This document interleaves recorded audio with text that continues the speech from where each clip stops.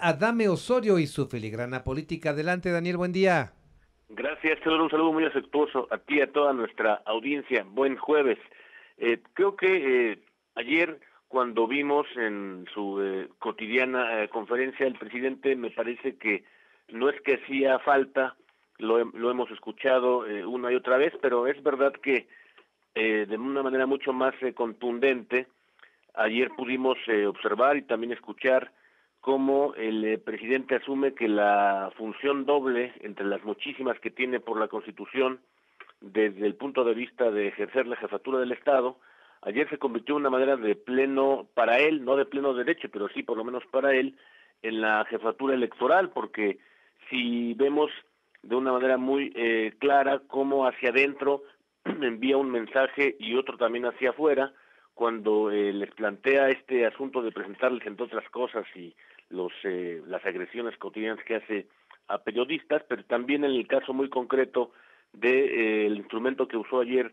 en torno a una encuesta para dar eh, justamente, claro, cada, cada quien tiene derecho a poner con dos metros de altura una ventaja eh, sin precedentes respecto de todos los competidores.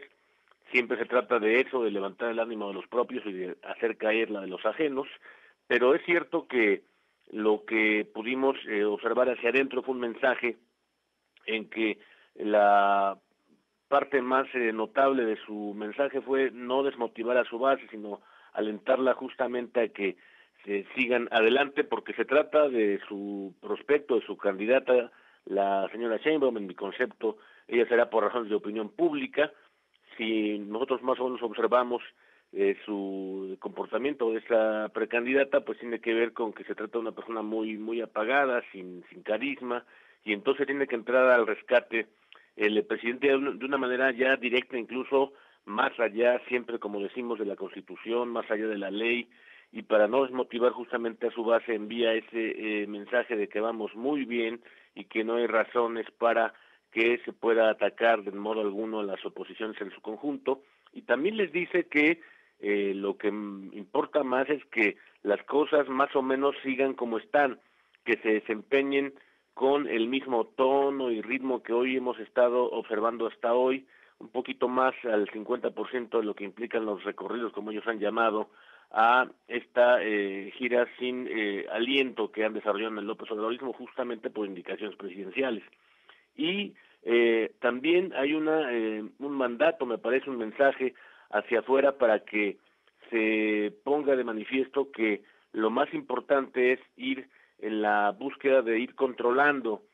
cada eh, uno de los eh, pasajes que tengan las oposiciones, incluso más allá de lo que habíamos previsto, es, es, más importante para el presidente y para todo su partido o movimiento que tengan más eh, protagonismo las oposiciones, porque reitero, si en la medida en que no se muevan las eh, circunstancias, los ritmos y los tonos en su propio recorrido por lo que hace a los suyos, pues eh, quedará mucho mejor eh, el desarrollo de este proceso que él mismo había concebido, pero que se le ha roto en buena eh, virtud porque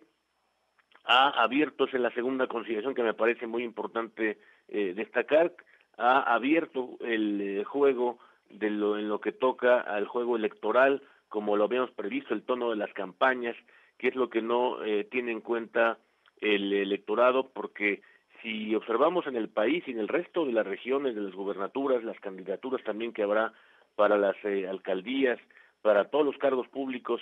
que están eh, por venir, la disputa está justamente en torno a que ese juego no puede ya considerarse como ese arroz ya se coció, que me parece a mí es justo el mensaje que ayer trató otra vez de implantar el presidente de una manera incluso ya eh, sin resultados, sin resultados concretos para su movimiento, por lo menos,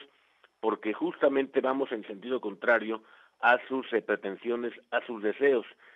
Justo me parece, por tanto, eh, que su planteamiento central haya sido que no hay eh, ningún motivo para considerar ninguna agresión a las oposiciones, es decir, eh, en otras palabras les dice, este arroz sí ya se coció cuando claramente estamos viendo lo contrario en torno al juego eh, abierto en el electoral. La segunda consideración me parece que es eh, muy importante plantear que en la arena del conflicto pues es sin duda él el gran ganador. él eh, llegó desde la perspectiva, es verdad, electoral, como se ha dicho de una manera muy eh, extendida, eh, incluso también en la literatura, que es mejor en, la, en cualquier elección perder o ganar, pero es muy lamentable que en una elección perdamos la democracia. Y justamente es el motivo, la pretensión del presidente, porque él sí es, como gran estratega de operador electoral, es también un hacedor del conflicto. Y en ese terreno creo que sí es muy importante que nos eh, movamos con todo cuidado, con toda prudencia, porque de un lado es evidente que él no hará ninguna consideración para seguir y dar esa continuidad